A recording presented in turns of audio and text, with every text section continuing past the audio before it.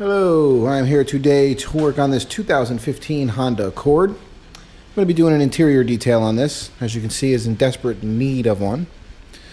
Um, this is what we're looking at to start with. I did pull the driver's mat out already. Um, as you can see, the cup holder and you know everything all in here is just it's pretty dirty. mirror itself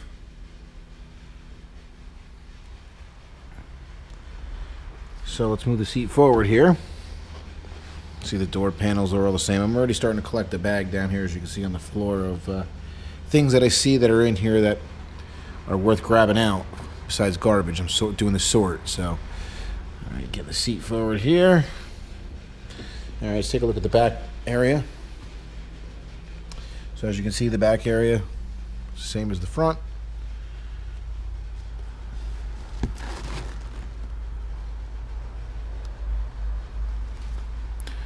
Over here to the passenger side.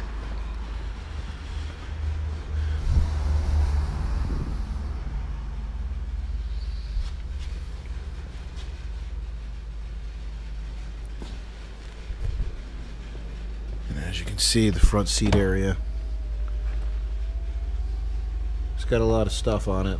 Looks like hot cup has been laying on the leather. Hopefully that didn't do any damage to the leather. As you can see, the floor area is pretty much the same as the driver's side. So I'm to get ready to vacuum this out. I got my steamer preheating over here. Got my Thermax sitting here. As you can see, she's a bubbling over there with the water steaming out. So we're going to get ready to go ahead and tackle this and I'll get back with you guys on the finished job. We'll see you soon. Okay, here is the final product on that 2015 Honda Accord on that interior detail. As you can see, everything came out a lot, a lot better than what it looked like when we started. The carpet area, nice and clean. As you can see, uh, the seats got a little bit of white going on in there. I don't know what that is. The steamer didn't get it out. So, I don't know what it is. Something stuck in there. As you can see the cup holder area, the console area. Nice and clean. The seat forward here. I have the driver's mat hanging up over there, so I'll show you that in a minute. We just get this forward and uh, we'll get a look at the back area.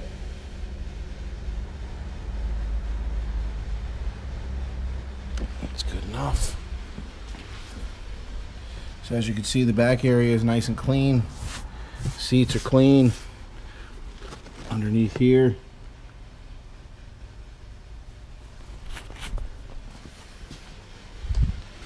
Over on the passenger side. There is a little bit of stainage that was going on in the seat here where we had all that area where it looked like something hot had sat there. So it did stain a little bit, but the carpets came out good.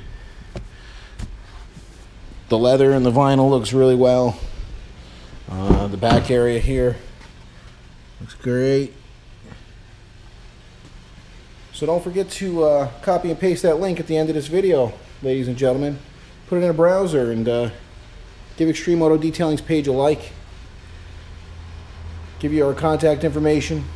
You can find out uh, some of the contests that are going on, and you get to look at all the pictures and videos that go up on there. So until the next job, I will see you guys later. Have a good one.